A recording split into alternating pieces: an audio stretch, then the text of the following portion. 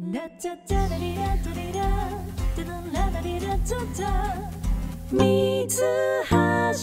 TV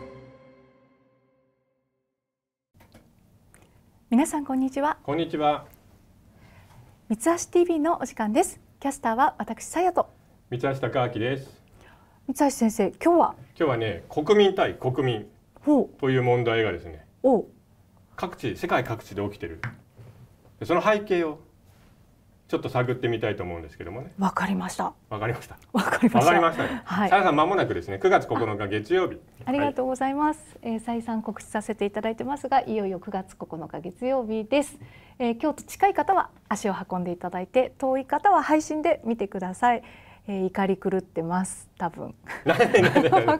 日本に対して多分怒り狂ってますね。はい。はい、えーこれで今日はですねこの話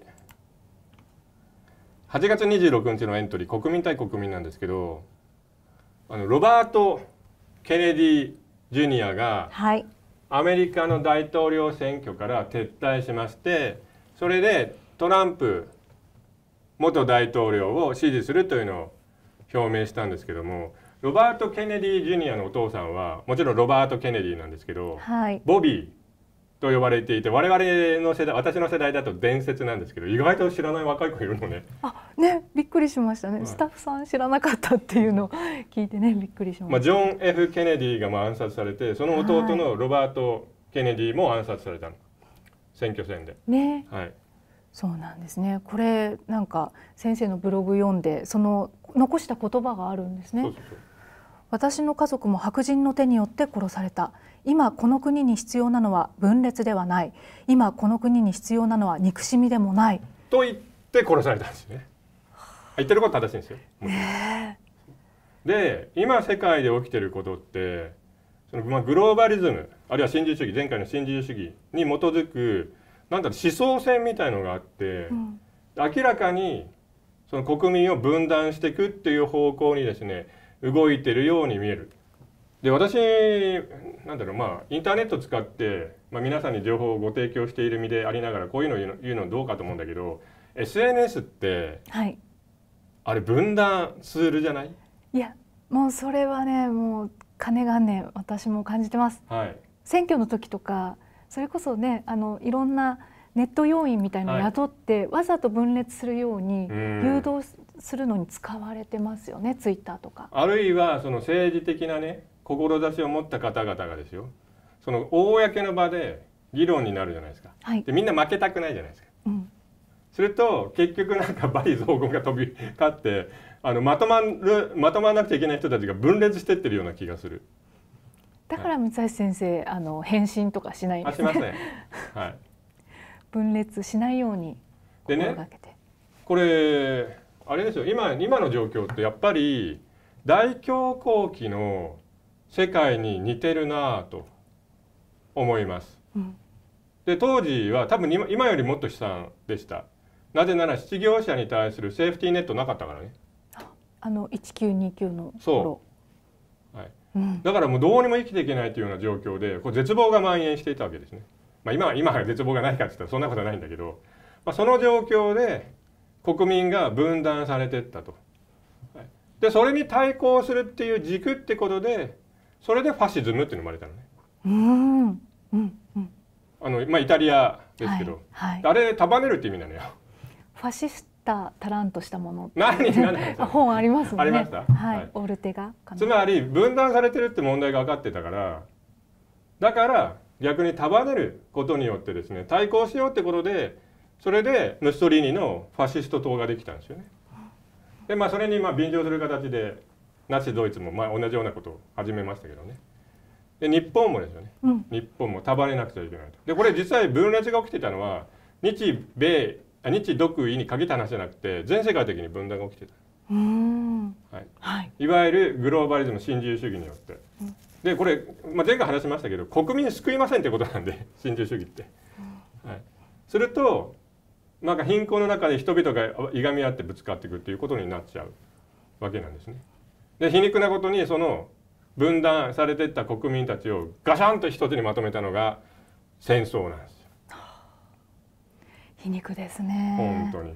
うん。うんだから前回アンドリュー・メロンがいなかったら第二次世界大戦起きてねえかもしれないよって言ったけど本当にだから罪深いんですよこの思想っていうのは。うん貧困が分断を生みそそして分断が戦争を生み、うそうそうそう。まあでその分断に対する対抗する思想っていうのが出てくるわけですね。うん。で今のアメリカを見てるとその例えば、まあ、LGBT 今なんだっけ？LGBT プラスなんとかなんとかでしょ、もう忘れましたけど、はい。はい LGBT なんとかとかあるいはブラック・ライブズ・マターとか、はい。BLM とかあとウォーク、ウォーク、ううんん。うん。といった形でそそんなに重要なのかなって思いたくなるようなその問題をクローズアップしてでそれでそれにやっぱ反対する人たちもいるからそこで国民同士を争わせる争わせると方向に向かってるように見えます。はい。はい、でロバート・ケネディ・ジュニアが、まあ、民主党から出るんだったら面白いなと思ったんですけどね。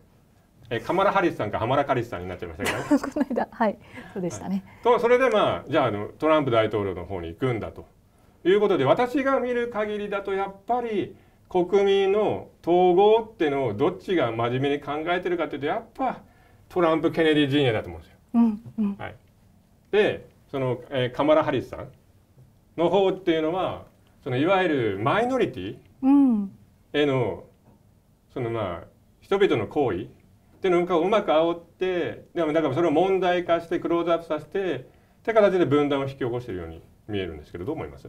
まさにおっしゃる通りだと思うんですけどやっぱそのアメリカの民主党政権の本質っていうのはやっぱり金持ちエリート集団なんですよね本本体は。でもその周りに付随してるそのブラック・ライブズ・マターとかそういう、まあ、マイノリティの方たちの、まあ、悩みとか苦しみとかをうまく煽って利用して、この人たちを鉄砲玉にしてるだけだなっていうふうに思うので、ある種まとまってるというか。はい。あの金持ちエリート層あのアメリカの富の,、ね、あのほ半分以上2%の人が持ってるとかっていうじゃないですか、その2%の層が民主党の本質だと思もですよね。でも共和党の方にも入ってますけどね。両方に出してですよあお金なんてどうせ。両方ベットするっていうのはあるかもしれない。はい。はい、でまあでもそのこのままだと内戦になるんじゃないかとうん、言われるような状況にまで至るとは思わなかったと思いますけどね。確かに。南部独立しちゃうんじゃないの？これ。なんかいやテキサスとかね 独立しそうですよね。で面白いなと思うのがそのテキサスのあ州知事が、えっとまあ、難民移民が入ってきましたと。それニューヨークとかに送っちゃってるじゃないですかバスとかで。はいはい、はい。であのそれに対してニューヨーク市民たちは「 Welcome!」なんてやってないってことですよ全然。あのニューヨークですら。あのニューヨークです。受け入れない。あの聖域都市でしょ、はい。 sanctuary city っていうのかな、うん。あそこでまあ受け入れるのかなと思ったらいやいやちょっとこの大量の人数っていうのはちょっとこれは問題なのかもしれないわねとかいうような感じなんだって。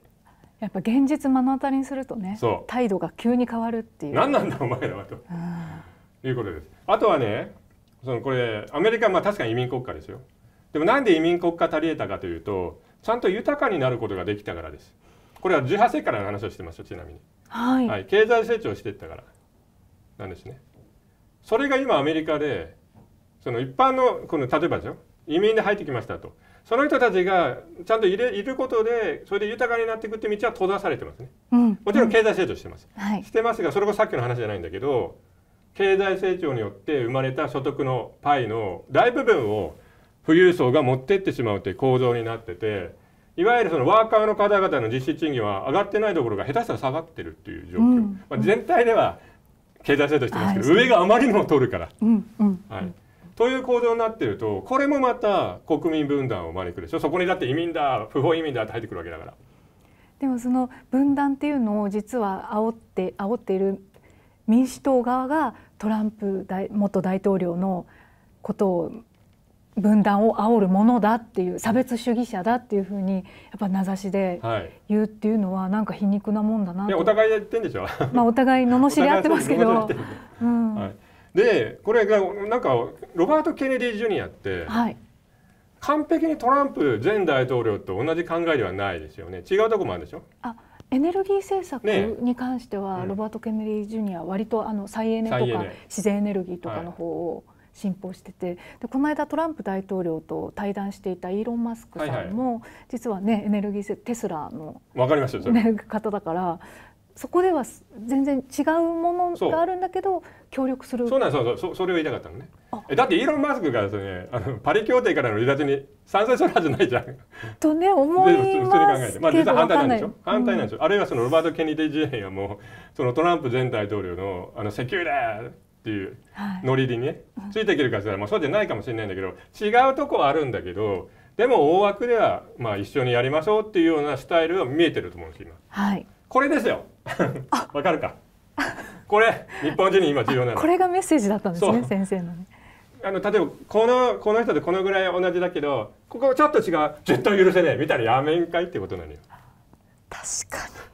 あなたとあるいは私と同じ全く同じ価値観の政治家いないし人間もいないんだからと、はい、ちょっと前カテゴライズの話しましたけど本当大好きでそれでちょっと違い差異を見つけてですねすぐ攻撃しちゃうの。それを SNS が助長してるでしょって話つながったでしょ？つながりまつなした。がりましたでしょ？綺麗につなが綺麗につなりました。がりましたでしょ、はい。だから人間違う例えばでしょ前も言ったけど山本太郎さんと財政政策経済政策が同じですと、でもエネルギー安全あの安全保障全然気が合わないですけどね。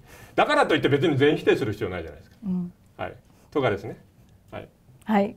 うん。よくわかりわます。かりますはい。まあ、山本太郎さんが一番わかりやすいね、うん。だってあの人初めて国会で日米合同委員会について質問してくれてめちゃ欲しいじゃんって思ったそうですね。あと能登のね復興なんかにも積極的に関わってらっしゃるし、ずっとあの岸田首相にはい要望をね常につづ伝え続けてる姿とか見てると、まあ最初の頃ほら能登に行くなみたいなそうはいはいはいいう協定みたいのあったじゃないですか、政治家の中で。今になって急に行き始めて政治家が。でなぜかというと災害派遣をまああの8月末で切ると。もうあの復興できてないのに瓦礫とか撤去できてないのにもうこれで切るっていうふうになったらそれをなんか補うかのように政治家が急に政治家が一体何やるんですか。瓦礫運ぶんですかね。まあ要は。まあ総裁選対策とか。ん。かなって思うんですけどね。あれですよ。あの日米合同委員会で決まったことっていうのはこれは法律的な担保がありませんっていうの。これ確か外務省が官僚が説明してるのね。これやばい話でしょだって。やばい。話。法律が外なのかと。それ山本太郎さんの質問でね。あの嘘を答えられないから外務官僚が。そう答えざるを得なかったんですね、はい。うん、自民党の国会議員なぜやんないのと。うん、いう話ですよ、そうですね。はい、はい。だってめちゃめちゃ問題じゃないですか。要は日本のこの、まあ、日本国に憲法とか法律の上の存在があるんですよ。それは日米合同委員会ねで日米合同委員会なんかみんな知ってることは知ってるんですよ名前で結構なんかほら例えば財務省が消費税の増あ減税の議論をさせないのは日米合同委員会の指令だとかでわけのわかんないこと言われちゃってないからさシンポジウムでも質問来てましたね。いい加減にしろと軍事の話なんだからと。でアメリカは堂々と例えば USTR とかがその要求を突きつけますから経済的な要求っていうのは。はい、でそれはちゃんと一応法律になってそれで施行されてるわけなんだけど日米合同委員会は法律にならないんでね。だからやばいんですよ。そうか、うん。密約みたいなもそのう。でこれから多分、まあ、総裁選挙でしょ？で総選挙になるとやっぱそういうなんか黒幕チックな話をみんな喜ぶわけですよ。どこの政党の人とは言わないけれども、はいそこで必ず日米合同委員会とかが持ち出されるのでちょっとそれは審査してほしいからちょっと私また別のコンテンツでそれやろうと思ってるんですけどね、あ。はい、ちょっとはい。本当に問題だなと思うから、なんか都市伝説が SNS によって余計広まるようになったよね。まあ本当にあの玉石混交っていうか、はい。それってなんか今までそのマスメディアを見ててマスメディアを疑えっていうふうに言い始めたのが多分20年くらい前だと思うんですけどそこから SNS にこう変わってじゃあ SNS のリテラシーはついてるのかって言ったら別にそんなに変わってないような気がしてて。てだからやっぱり本質的な部分っていうのを常に意識してみなきゃいけないのかなと。あと余計なこと言わなきゃいいんだけどみんな発言したがるんですよ。すいません。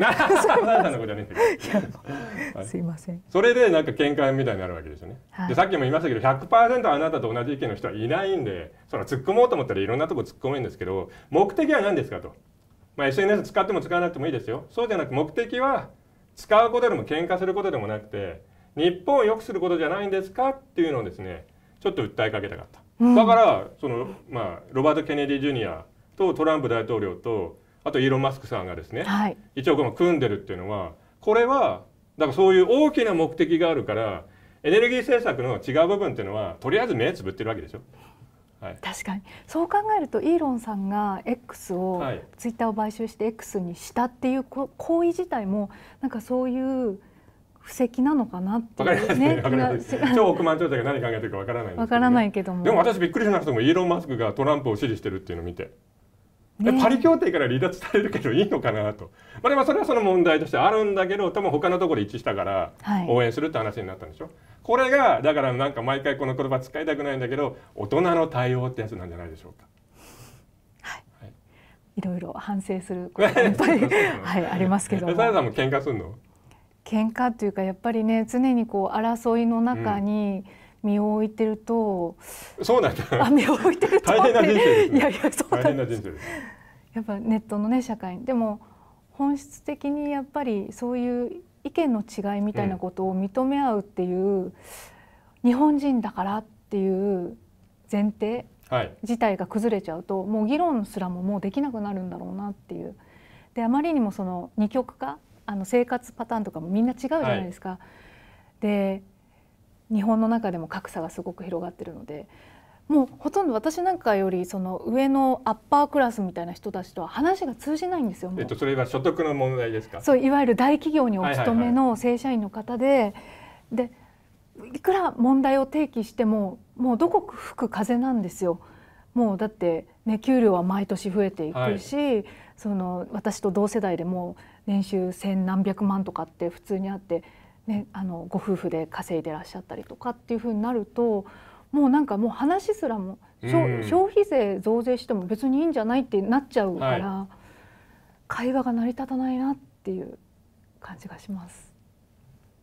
だんだんこう分断されていくわけで。だから2つの国民ね。ツーネーションでだから。ツーネーション。ツーネーションになっていくと。うん。日本国民がこう2つの国民に分かれていく。うん、であれですか？やっぱグローバル企業とかにお勤めなんですか？そういう方多いんですか？そうです。それといざとなったらどこどこ行っちゃえばいいやっていうような道があるわけですよね、はい、はい。はい。こっちないんだよねこっちはもうハワイにコンドミニアム買いましたみたいほなうそういうね すごいな。もういるんだなっていうのをね目の当たりにしますね。だから岸田内閣の、まあ、罪ね。相当いっぱいあるんだけどはい。なんか金融資産とか金融資産所得あの、まあえっといわゆるその資産所得にね注目させちゃったじゃないですか。はい。それで自己責任で稼ぐのが当然だみたいな要は金使いたくないからそうせざるを得なかったんだろうけどこれ良くないよね本当にね、本当ですね。はい、今みたいな話で煽るわけでしょ？そうあのスパの記事とかでもつい最近ありました。そういうのが。もう投資するのが当たり前ですよ、うん。みたいな。ダブルインカムノーキッズじゃなくて今ダブルインカムツーキッズ。つまりあの4人家族なんですって、はいはいはい。この4人というあの人たちはもう本当アッパークラスですからこの方たちは 投資しましょうってすごいもうスパの記事で煽られてて、やっちゃうんかな。い いやいや三橋先生はできるだろうけど。い。やいやいやいやいや。うん。でもなんだろうな。真面目に稼ぐその例えばね現場で汗水垂らして働く人がねどんどんどんどん豊かになってくると。あだから、ま、さっきのアメリカの昔はそうだったんですよ。日本もそうだけど。はい、そうするとちゃんと働いてれば豊かになるからそんな煽られないですよね。そう。煽られない。煽る必要ない。煽る必要もないし。ところが今そうなってないのでこの緊縮財政に加えてまあアメリカもそうだけどアメリカどっちかって格差拡大だけどね。それに加えてこの移民ですよね。移民難民っていうのは本当相性悪いなと。思うんです。だからもうアメリカ大統領選挙どうなるか分かりませんけれども、まあ、トランプ前大統領が、まあ、ロバート・ケネディ・ジュニアが、まあ、賛同してくれたことで、まあ、ちょっと有有利な方に来たのは確かですけどどうなるか分かんないですよね。でこう結果次第によって本当内戦になったんじゃないかなっていうぐらい国民の分断が進んでるよね。でもまだねあのカマラジャンプみたいのがあるかもしれないじゃないですか何かまだねバイデンジャンプみたいななんかいわゆる急に票がデジタルで伸びるみたいな。郵郵便投票なんかしてるからでしょ。はいはい、まあ、まあ、その辺もちょっと改善してほしいなと思うけど、まあ、他国の話だからしょうがないんですけどね。とりあえず自民党総裁選挙、まもなくありますで、その後、おそらく11月に総選挙ということになりますので、皆さん、これまで以上に多分 SNS の活動されると思うんですけど、はいちょっと分断に煽られないし人は自分と違う点があるんだって認めるっていうようなちょっとまあもうこの言葉本当に使いたくないけどもう一回言うけど大人の対応っていうのをですねちょっと検討していただきたいなとつくづく思います。はい、というわけで最後は宣伝ですね。はい、えー、三橋経済塾ですが8月は中野武先生をお招きいたしまして開催されました9月はですね佐藤健二先生でございます。はいえー、形成史論ですが、高等論第67回、家の子の戦逸、歴史時事第67回、オスマン帝国の攻防、宿敵ロシアがリリースになりましたので、こちらもご入会いただければと思います。はい、いつも三橋 TV をご視聴いただきありがとうございます。えー、この度、三橋隆明の公式 LINE をスタートいたしました。限定コンテンツの配信などを行っておりますので、ぜひ登録してください。登録は QR コードや概要欄の URL からお願いいたします。